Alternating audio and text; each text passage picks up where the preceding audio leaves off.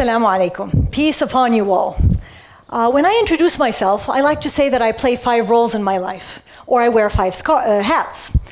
But I don't wear a hat, I wear a scarf. So I say I wear five scarves. The first scarf that I wear is that I'm a mother. I have four children, and I think I'm proud, most proud of being a mother because nobody can replace me as a mother. My second scarf is I'm an educator. I was a teacher for 10 years, and I taught from first grade to 12th grade, biology and science. I taught every curriculum you can imagine IGCSE, ACT, SAT, IB, national curriculum, everything. And you know what? I respect teachers so much because if you can stand in front of a sea of fifth graders who tear you apart and know everything about you, you could do anything. So that's the most role I'm proud of after being a mother. And if I'm ever a minister of education, I would make it compulsory for every university graduate to become a teacher for one year so that they can really appreciate what teaching is all about because a teacher spends more time with, with the children than the parents do. My third scarf is that I'm a scientist. I get a kick and a thrill, like a roller coaster ride, out of trying to understand how molecules talk to each other, how cells communicate, how all of them come together to make what we now know as the human organism. Uh, and so my two fields of study is that I study the genetics of diabetes in ethnic populations, the Circassians and the Chechens, and I also study the impact of trauma on our DNA, something that we call epigenetics, that we can actually transfer to our children and grandchildren. My fourth scarf is that I'm a social entrepreneur. I realize that children don't enjoy reading for fun, and reading for fun is so important for their imagination to become change makers in the future. So I developed a program that I called We Love Reading that has actually spread to 46 countries around the world and counting.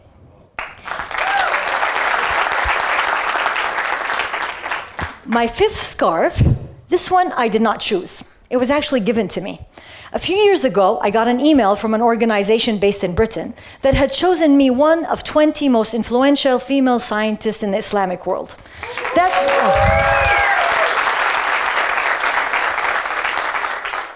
Now that's 1.6 billion people. So that was great, and it was an honor to me. I was scrolling down through the email because they had given every one of us 20 a title. So there was the cardiologist, the mathematician, and I was scrolling down to see what title they gave me.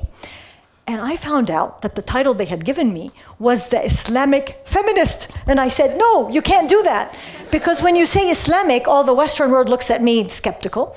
And when you say uh, feminist, all the Eastern world looks at me skeptical. And I ended up with nothing. I emailed them and I said, please change it. You know, this is not me.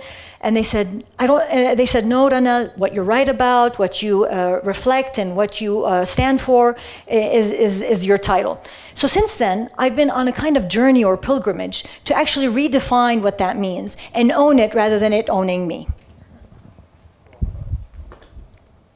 So, human beings have been evolving through millennia. And long time ago, there were actually two groups of human beings a group that sat around a fire and told stories, and another group that looked upon those that were telling stories and telling them that they were wasting their time. You can guess which one of those two groups actually survived today. It was the storytellers. So, in the spirit of evolution, I'm going to tell you a number of stories about the journey that I took to define who I am and what does success mean. Imagine yourself coming from Mars, looking down onto Earth, what do you see? You see different creatures crawling, walking, talking, moving, and immediately you start to categorize them and organize them into groups according to different factors. So either you categorize them long and short, round and square, green and blue. Human diversity is amazing. And when you look at each one of this, these humans, each one trying to find their path to happiness, pursuing their career paths, you see, you assume that their career paths would be diverse. However, what you find is that they all choose one career path or one form of success, which is fame, money, and power, which doesn't make sense considering the diversity. So I want to challenge that assumption. And when I challenge that assumption, that makes me think of Yamanaka. Because there are so many different paths that we could choose, and everybody's focusing only on one.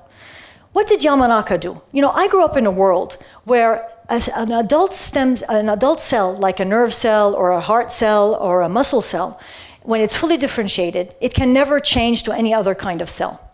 And if anybody suggested otherwise, they were either considered crazy or ignorant. Well, Yamanaka challenged that and dared to ask why not.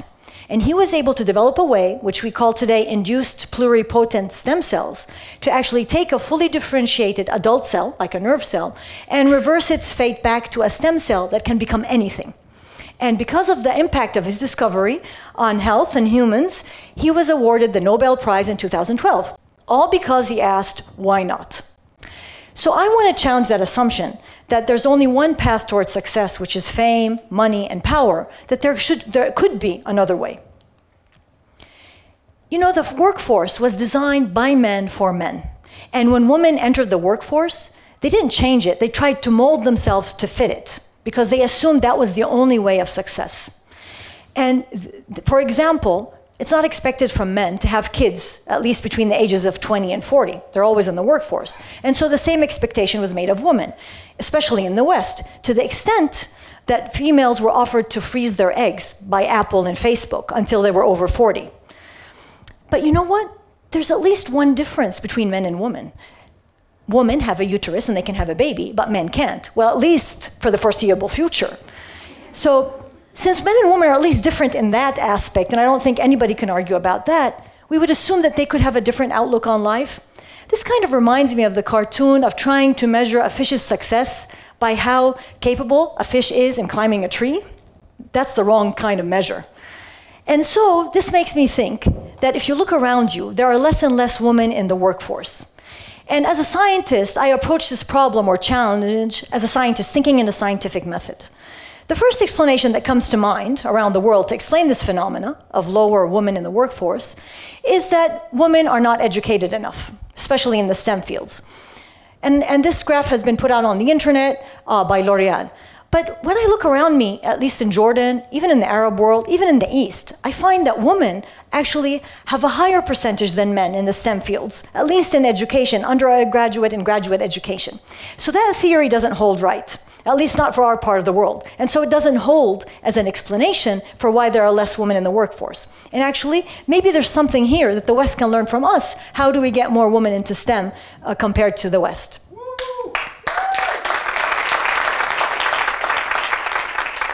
So that hypothesis is crossed out. The second hypothesis that they come up with is that maybe the workplace is not, uh, not friendly for women. So what happened? Many companies introduced flexible hours, maternity leave, nurseries at work.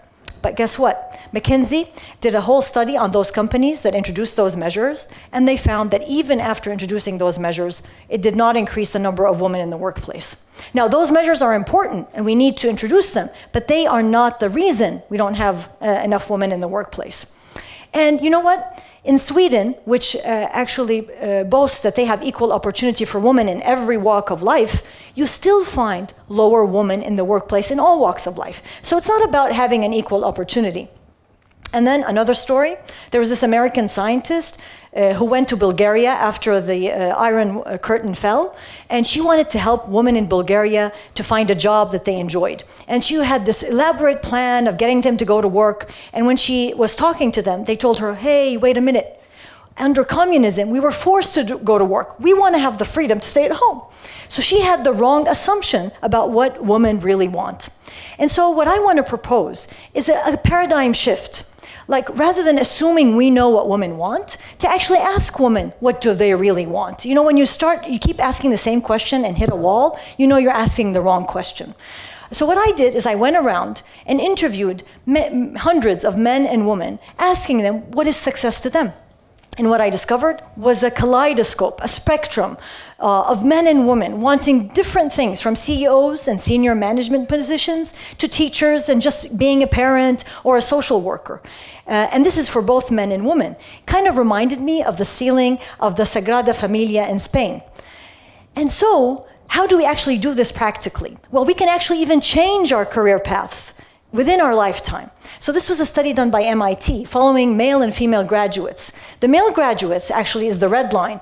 They, their career paths went up and up until they hit the age 40 and then it plateaued. But for women, it was a zigzag but kept going up. So you can even change your mind within your own lifetime of what career you want to pursue. So how do you actually go and do this practically? Well, one, you need to read and get knowledge and gain knowledge so you can identify what are the different opportunities out there in life. Second, you need to know yourself. Define your identity, have confidence in yourself, and find your passion. Third, you need to gain the skills and the tools so that can pursue that passion. And you know, with unemployment, you have to create your own job. So you become an entrepreneur using that knowledge and that confidence and the skills you've learned to create your own job. And with the internet and the digital age, all the tools are at your fingertips and you can actually create your own job online.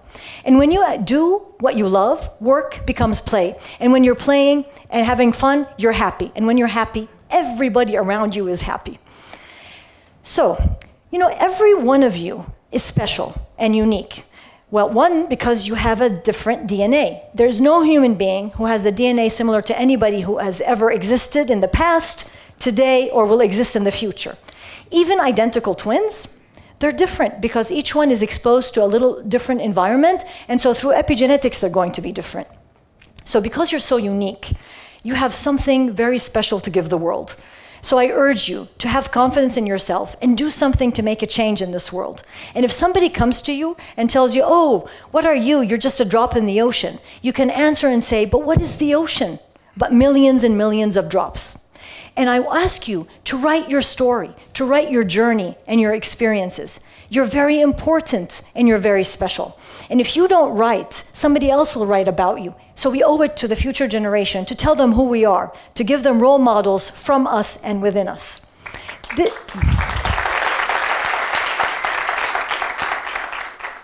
you know, I'm a scientist. So I got to put science into everything. So this reminds me of the chaos theory, which is a, a, a theory in physics. Uh, in other words, it's called the butterfly effect. When a butterfly flutters its wings in China, there's a hurricane in the Atlantic. So each one of you, if you do one small thing in changing yourself, changing your family, changing your community, you can actually create a change that uh, spreads all over the world. It starts with you. You know, you owe it. You owe it to humanity, you owe it to yourself. So go out there, be the change, be the butterfly. Thank you.